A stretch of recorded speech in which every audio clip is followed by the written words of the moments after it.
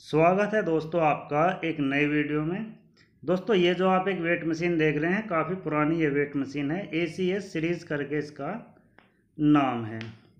इसमें क्या है कि ना तो ये ए सी से ऑन हो रही और ना ही ये बैटरी से, यानी कि ये इस समय बिल्कुल डेड है। सबसे पहले क्या करेंगे? सबसे पहले जो इसका, ये जो वायर आया हुआ है इसका, इसको चेक कर लेंगे। इससे हमारा ये वायर भी चेक हो जाएगा और हमारा ट्रांसफार्मर भी। तो ये रेजिस्टेंस हमने देखा तो रेजिस्टेंस हमें दिखाई दे रहा है, ये आप देख रहे हैं। तो यानी कि हमारा पावर कोड ठीक है और हमारा ट्रांसफार्मर भी ठीक है।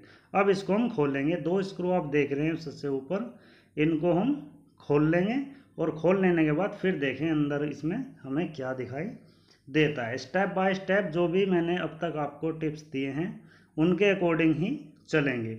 तो सबसे पहले मैं आपको दिखा देता हूँ, ये कुछ इस तरीके से है। अगर आपके सामने वेट मशीन ये आई होगी तो आप समझ जाएँगे कि जो पुरानी वेट मशीन होती थी, उनमें किस तरीके का रहता था। तो इसमें क्या करेंगे? जैसे मैं बताता हूँ कि स्विच को भी शॉर्ट करके देख सकते हैं, और जो इसमें एक ये फ्यूज़ लगा है।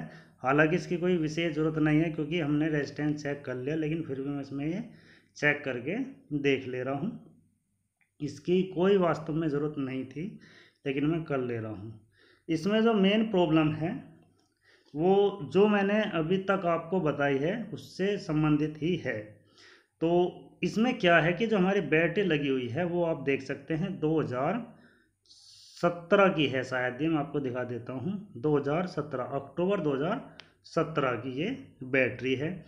तो कई बार क्या होता है बैटरी हमारी ज़्यादा ड्रेन अगर चली जाए तो वो कार्ड को कुछ इस तरीके से कर देती है कि वो मेंस पे, यानी कि एसी पे भी ना चले। तो अब हम क्या करेंगे इसमें? ये वाली बैटरी लगा देंगे यू प्लस ये थोड़ा स्ट्रॉन्ग बैटरी मानी जाती है। तो जैसे ही हमने ये कनेक्ट करी तो ये हमें कुछ ऑन होता दिखाई दिया है। और ये इसकी सेल्फ टेस्टिंग रहती है। कुछ इस तरीके से आएगा।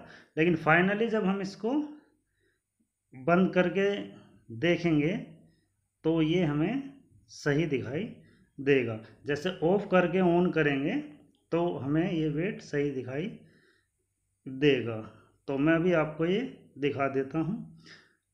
अभी हमने बंद किया है और जैसे ही हम इस पर प्रेस करेंगे तो ये हमें वेट यहाँ पे दिखाई दे रहा है।